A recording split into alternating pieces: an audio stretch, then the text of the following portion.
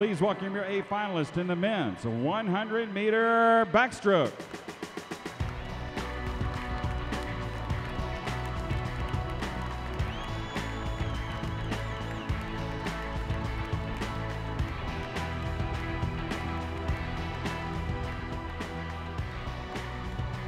In lane one, swimming unattached for Gator Swim Club, Ben Hesen. Lane two, representing Daytona Beach, Ryan Lochte.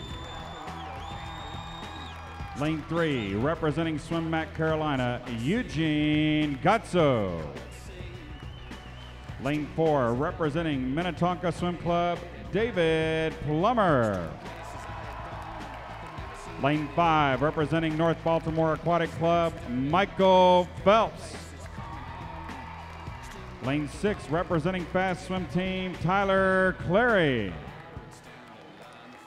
Lane seven, swimming unattached out of Florida, Arkady Vyatchanin. And in lane eight, representing Israel, Nimrod Bar Or. A final men's 100 meter backstroke.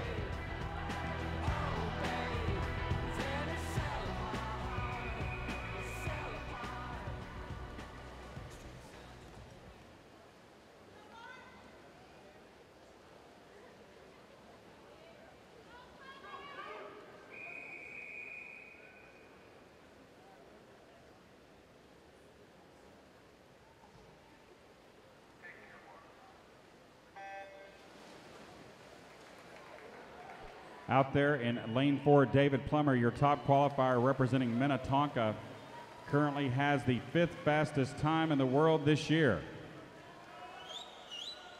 It'll be interesting to see how he and Phelps and the rest of the field stack up.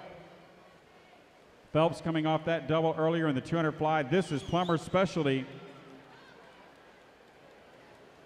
26.61 by David Plummer. Phelps is just a tenth back.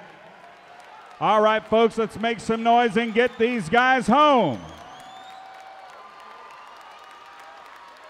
Michael Phelps, high in the water, edging out in front of David Plummer.